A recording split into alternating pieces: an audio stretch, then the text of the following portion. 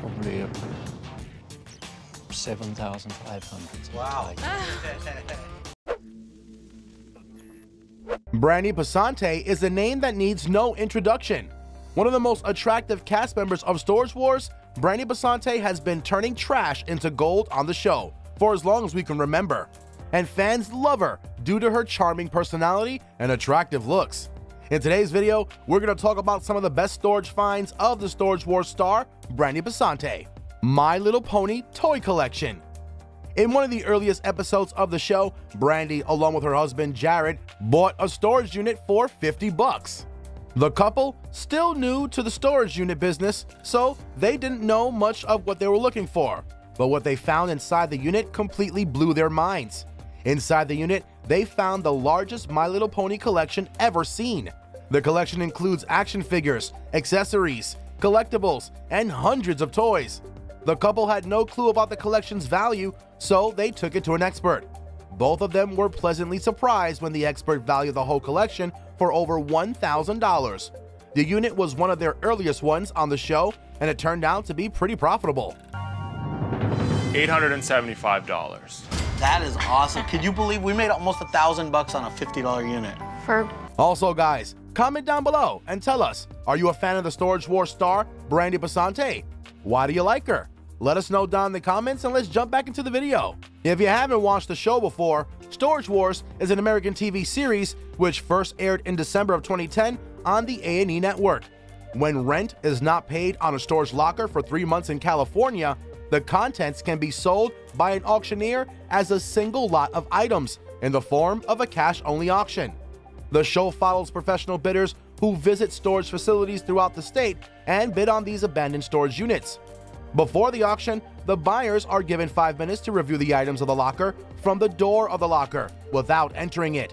After a buyer buys a locker, they review all the items in it one by one and estimate how much they can sell each of these items for, calculating the total in the end to see if they bought the locker for a profit or a loss. Any rare or unusual items found are taken to an expert who estimates what the items are worth. Star Trek prop replica. In one of the episodes of the show, the star, along with her husband, paid $230 for a mostly empty locker containing seven cardboard boxes. However, in one box, the couple found an official Star Trek prop replica, phaser, and communicator, complete with certificates. The items even came with an autograph of William Shatner, who played Captain Kirk on the original 1960s series. The couple took the whole set to an expert, and it turned out to be one of their best finds, priced at over $4,000. autograph, I'd say for both of them, $4,000. What? Shut your face. Screen printing equipment. Brandi Passante bought a pretty expensive unit for 2,850 bucks in one of the episodes, and it was full of odd boxes. As she examined the boxes, she realized that the boxes contained everything needed to run a screen printing business screens, press, flash, and exposure unit. All the equipment together was valued at $5,000. The unit, although expensive, did pay out in the end. Five grand. It's like easy money. Double our money and move on after we print some shirts. Bozak! Also, guys, if you enjoyed the video so far, don't forget to leave a like, make sure to hit the subscribe button, and don't forget to turn on the post notifications so you know about our latest uploads. With that being done, let's jump back to it. The Classic Toy Collection. In season one of Storage Wars, Brandi, along with her husband Jarrod, bought a locker for 1700 bucks after an intense battle with a rival bidder. The couple wasn't very sure about the locker, but they were really surprised when they found out what was inside. They found a classic toy collection that turned out to be worth more than $12,000.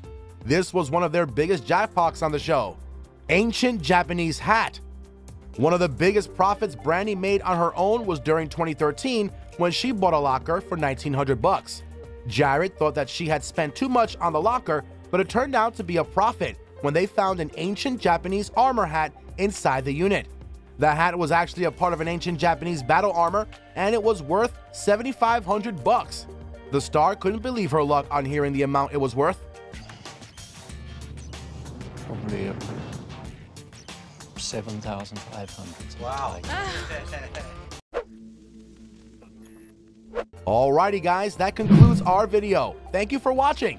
Make sure to hit the like button and let us know you liked the video so we can keep on making awesome content for you. Don't forget to subscribe, click the bell icon, and share your thoughts about the video in the comments below. Let me know what you all think. That's all, and we'll see you in the next one.